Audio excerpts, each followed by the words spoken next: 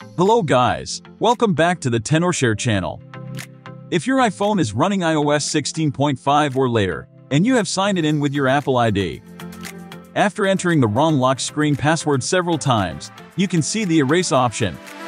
Tap it, and you can see the support.apple.com slash iPhone slash passcode screen on your iPhone. Check this address and you will see a tutorial about how to restore the device. Don't know how to do it? Don't worry, in this video, let's discuss three effective methods to unlock your iPhone when you find yourself locked out after entering the wrong passcode multiple times. Method 1. Erase iPhone on lock screen. First, make sure your device is running iOS 16.5 or later. When you see the option to erase your iPhone on the lock screen, simply tap on it. Confirm the erasure process and enter your Apple ID passcode.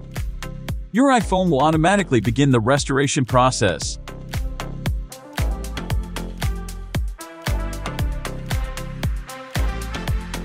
Once completed, you can set it up as a new device. But in my experience, while this method can be effective, it may not always work smoothly. The Erase iPhone button could stop working for some reason. If this happens to you, you can move on to our next method. Method 2. Unlock iPhone with 4uKey.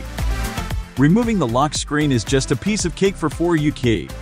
Let's launch 4uKey on the computer. Then connect your iPhone to the computer. Click Start and Next. In order for 4uKey to detect the device, follow the guide and put your iPhone in recovery mode.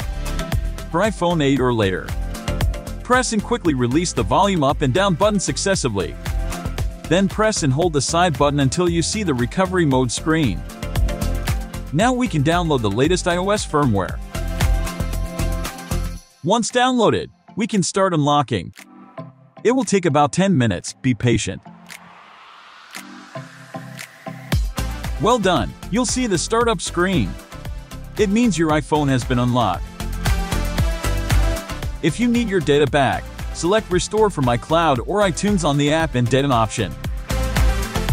So easy, right? Method 3. Erase iPhone in Find My. For this method, you'll need access to iCloud.com and sign in with your Apple ID. Navigate to the Find My section and select your locked device from the list of all devices.